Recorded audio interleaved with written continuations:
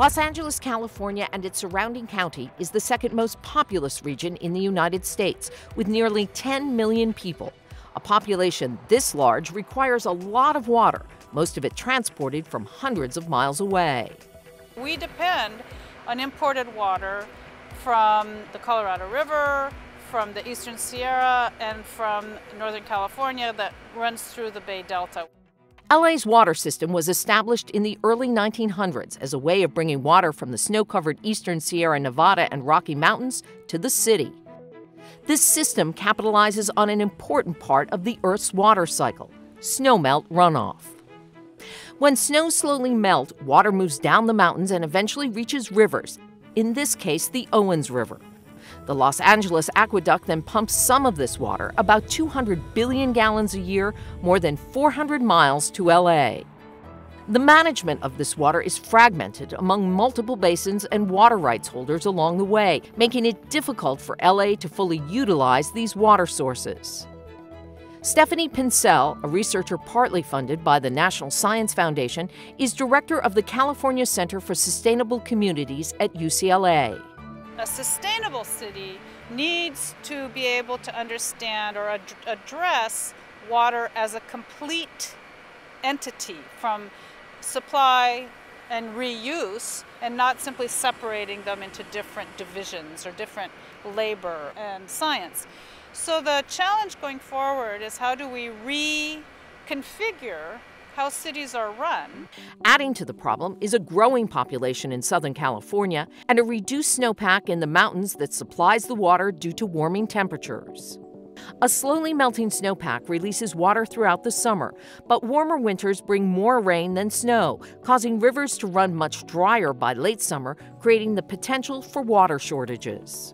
It actually depends on how much rainfall and snowpack there is. So this year, we will probably be importing more water from the Colorado River because the Sierra Nevada snowpack is going to be very light. To become more sustainable, several local and regional organizations, such as the Los Angeles Department of Water and Power, are devising methods to use something known as the urban water cycle, which seeks to capture, store, and reuse the water that already exists in the city. The city of Los Angeles is trying to move towards a more urban water cycle where they're treating water all the same as one water, whether it's coming from rainwater, stormwater, or wastewater, or flood control or recycled water. Local groundwater, or water that is below the ground surface and is recharged by rain and runoff, can provide an additional source of water. Right now in the city of Los Angeles, it's around 10 to 13 percent of local water supply. New innovative projects are looking at how runoff can be better controlled and filtered rather than running directly into the sea. On Elmer Avenue in Sun Valley, water in the gutters is filtered through roadside bioswales or landscape drainage systems. In the parking lot of the LA Zoo in Griffith Park, runoff is directed into the ground through pervious or porous pavement to eventually filter through soils and into nearby streams. What they do is they capture the stormwater, hold it in the parking lot, helps to infiltrate into the ground, recharge the groundwater, LA is also improving how it reuses its water. At the West Basin Water Recycling Facility, pre treated wastewater is further purified to produce clean, usable water. It's water that has been cleaned enough to go to the ocean, and we take it and then we refine it and make it into ultra pure water in many cases. Sustainability also means conserving water, even rain and storm water, something that LA residents are already good at.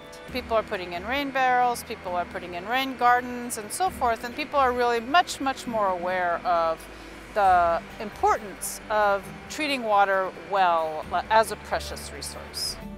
While the issues around the management of water continue in California, by building an urban water cycle that uses and reuses water sources more efficiently, Los Angeles hopes to pave the way to a more sustainable future.